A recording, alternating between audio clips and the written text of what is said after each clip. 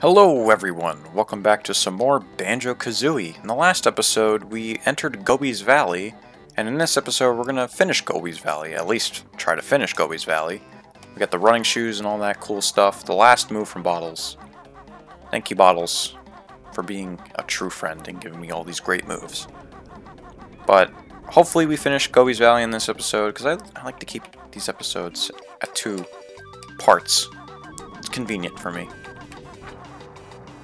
But uh, this is going to be a little tricky, actually.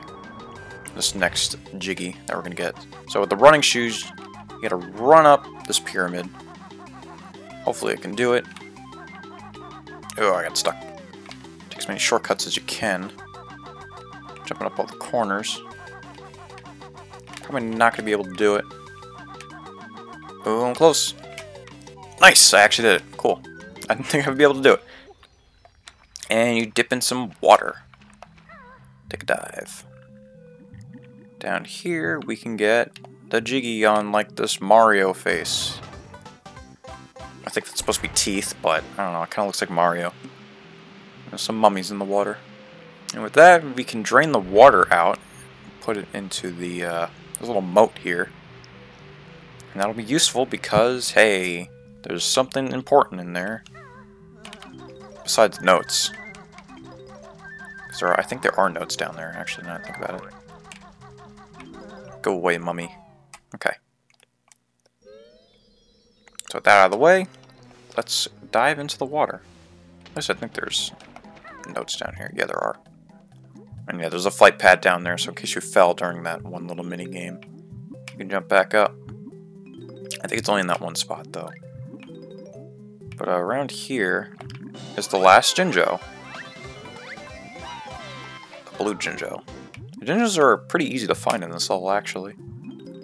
And I didn't think they would be uh, that easy from what I remember. I guess they are. But uh, that's it. Here's a Mumbo token. Want that, and that's it from the water. Sweet. I think I have one more temple to go into. I remember...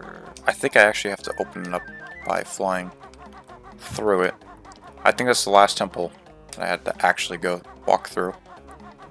So, before I do that, there's one other thing. Remember, uh, what was his name? Nut Breath, whatever the hell his name was. The tree. Uh, he needed some water. And we helped our friend Gobi. And what's, uh, what are camels known for? Storing water in their humps. So I wonder if uh, Gobi, we wanted to look for some shade, so I wonder if he's over here. And he is, look at that. Freeing Gobi from that rock. Gets him in front of Trunker, that's his name. This tree looks a bit thirsty, but I need all my water for myself, even though there's a moat around you. Trunker wants rain. I'm shriveling up. Wait, hold on, wait, no, I said this. How's your nut bark, breath? Yeah, Innuendo. You'll see that in a Banjo-Kazooie uh, rated E for everyone question mark video. There's a lot of innuendos. There's not as... I know Banjo-Kazooie is known for the innuendos, but mainly Banjo-Tooie. This game, there's like some, but not a lot. Ah, lovely water. Trunker feels great.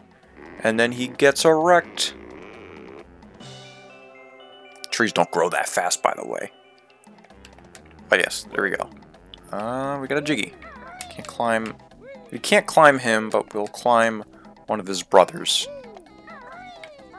And we'll grab the Jiggy. Sweet! It's our eighth Jiggy. And now I think the rest of the Jiggy... Actually, hold on. We gotta go talk to Gobi once more. And there's actually notes here that I completely missed. So, grab those too. Forgot all about those notes. But there is another spot where Gobi is, and we have to go to that. There's a magic carpet that flies around. I don't know where it stops. It stops right on the foot over there, so... Don't forget about that. Let's go over and grab these notes. The Mumbo token here. I also think there's, on the other side, if I went to the right, I think there is a, um, what do you call it? Uh, extra life if you really want an extra life. Which, by that last recording that I did of Freezy Peak, that was on like April 2nd. And it's the 6th now. So, all those extra lives are gone. They've been gone for a few days now.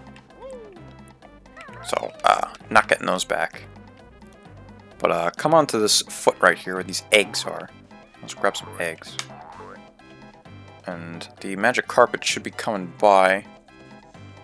Come here. Alright. Jump in the carpet. This one doesn't disappear spontaneously. Um, stop right here too. But what you want to do is you want to ride the carpet all the way up here. Because hey, look, it's Gobi again. Hello, Gobi. Grab these notes. And boom, And get a honeycomb piece. Bah! That's it. I'm leaving this desert to find some peace and quiet. I'm out of here. Alright. See you later, Gobi. And we get another honeycomb piece. And then this door right here is not important. It was going to be important, but it's not. And you can probably guess, if you watched the Freezy Freezy Peak episodes, you probably know what's behind that. In case you didn't, it's the stop and swap crap. Which, you know, is gone now, so... I think that door still opens, unless it's just closed forever. I think you can actually glitch into it. I don't know how, but there might be a way to glitch into there. So uh, that's the other honeycomb piece. And now it's time to uh, fly. You have to fly for the rest of the jiggies. And all that stuff. I'm just trying to... Where's the flight pad, actually? I think it's on one, top of one of these. I think it's on top of... The, no, it's not. Where is the flight pad? There you are. Almost forgot about you. Alright, so the first uh, flight pad thing, uh, you need the beak bomb for this one from Freezy Peak. This one opens up this uh, door here. So you actually have to go into Freezy Peak to complete this level, and you need to go into Gobi's Valley to complete Freezy Peak. So, do whatever. Oh, it's this guy. I remember you. Hello. Hello, my friend. I am Rubee. Can I be of some help? No? We're looking for some treasure, pipe boy. Very good. I see some up there. It's yours if you can get it. Yes. Yeah, sure. Alright, me just steal your stuff real quick. Very important. I have your stuff. What's yours, or what's mine is mine, and what's yours is also mine. That's a Repo Man quote. And the rest of the notes are in here. We got all the notes. Nice. Alright, so this uh, snake charmer here, basically what you gotta do is poop in his basket, and then he'll sing a song to the snake. And he'll have him rise up, rise up. And it gets slightly faster, but I'm probably gonna miss multiple times. There we go. Nope, another one. Come on. I don't know how many times you have to do this. I think it's like five times. Come on. No, I was in a groove. There we go. Ah, uh, a thousand thanks, my friend. Histup will now help you with your quest. Yes. Text is too slow. Sit on his head. You can also climb his neck. But hey, there's our ninth Jiggy. Sweet. I just want to climb his neck real quick. Yeah. That looks so weird. But thank you for that. That's all you have to do in there. And now the final Jiggy is going to be uh, obtained by these golden statues. As you can see rising out of the ground right here. Whip. I didn't make the jump. Get up there. Okay. Doesn't matter if I die now, because, hey, I got all the notes, so I don't have to worry about dying. At least in Banjo-Tooie, you know, if you die in a level, you don't have to worry about the notes. So thanks for that. So this next, or the final Jiggy, you have to fly through these hoops, if I can do it. Come on! Just, there we go. Summon all the hidden rings of the ancients, to beat the witch. Oh, wait, I could just beat the game like that? That seems pretty simple, actually. Let's do that. Oh, they spawn in a random location. I don't actually remember where that one is specifically. But before we do that, let's grab the last honeycomb piece. And we got another honeycomb container, and we have extra health now. Key. I actually don't remember where this other sand guy is. Where are you? Oh, he's right over here by the Sphinx, of course. I was like, yeah, I, I can't be that stupid. I mean, this level's not big, so I can't lose him that quickly. Can I? Can I please, please, let me throw? Come on, get over here. I just want to fly through the hoop. Flying through fucking rings. I'm so sick of flying through rings. After I beat Superman 64, I'm like, dude, I don't want to fly through any more rings. I hate rings. I'm not the fan of the rings.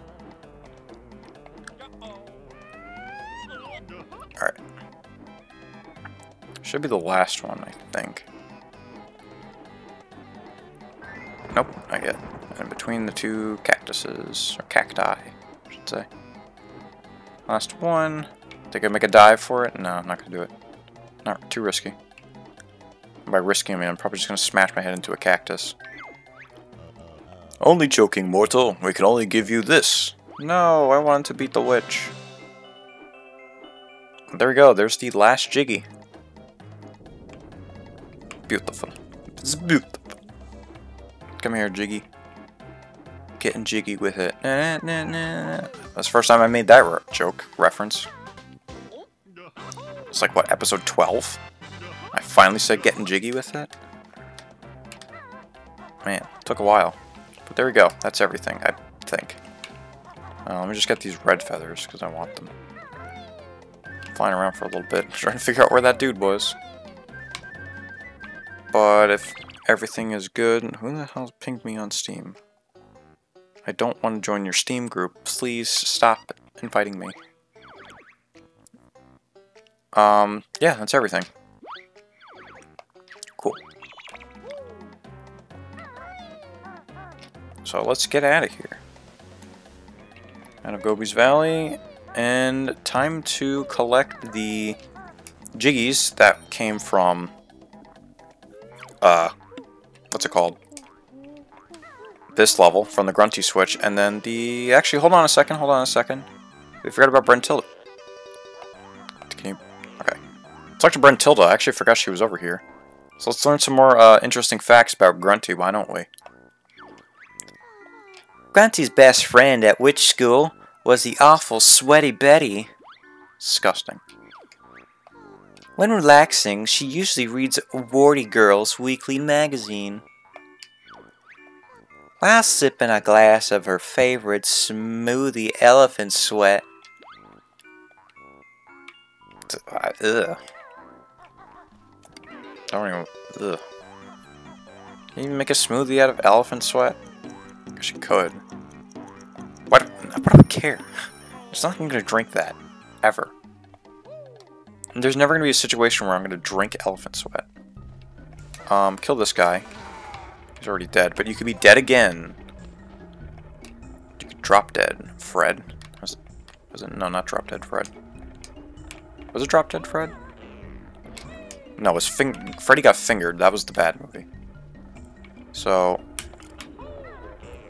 this jiggy, you have to jump. There we go. Got that. Out of sarcophagus. What was Drop Dead Fred? That was a movie too, right? Drop Dead Fred? That was better than Freddy Got Fingered. That was a bad movie. Don't watch that one. But uh, there's the Jiggy in the sarcophagus. And now this Jiggy might actually give me a little bit of trouble because I remember failing this a bunch of times. Grab that. Uh, actually, I don't really need that. But uh, that Grunty switch that we hit in Freezy Peak, a Jiggy spawned all the way up here. Couldn't get it because, well, we didn't have the running shoes, of course. And now since we have that, we can go up here, and we can hit this switch. I wonder if I can do it right. Let's get maximum time. Actually, no, it just stops you right there. A flight pad appears, grab the running shoes, and then sprint. Sprint like a madman.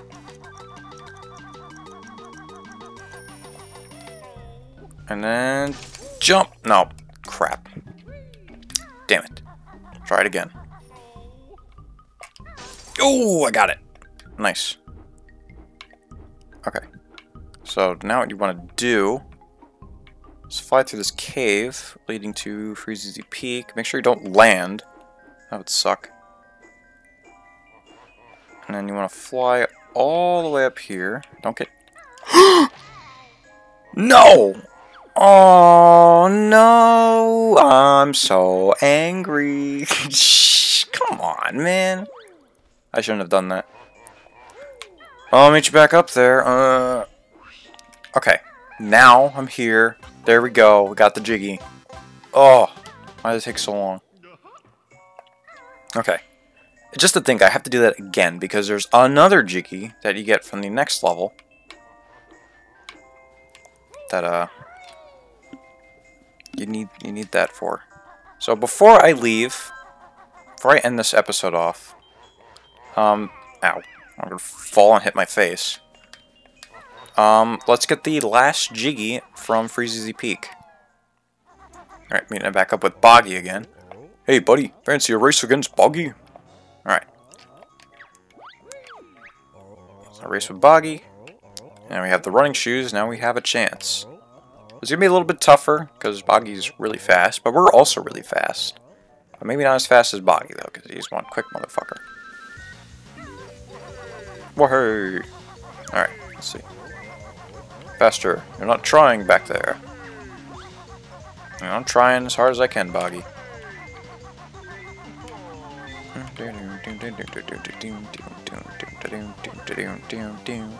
Okay.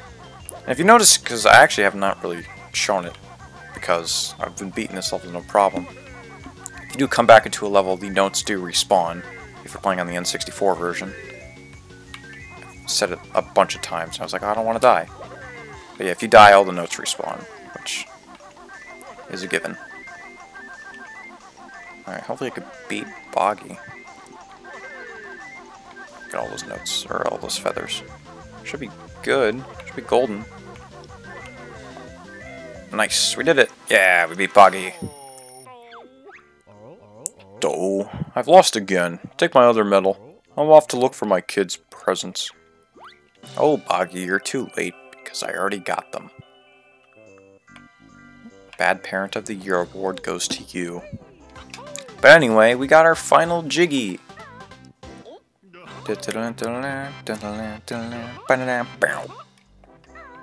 There we go. That's it. Got all the Jiggies in Freezy Peak, got all the Jiggies in Gobi's Valley, so I'll meet you back outside. Alright, back outside. Um, I think that does it for this episode. Uh, we finished the rest of Gobi's Valley. We finished the rest of Freezy Peak in this episode. So next time on Banjo-Kazooie, we're going to go into the 7th world, which I believe the picture is behind this door. I, I think it is. So next time, we will be doing that. See you guys then.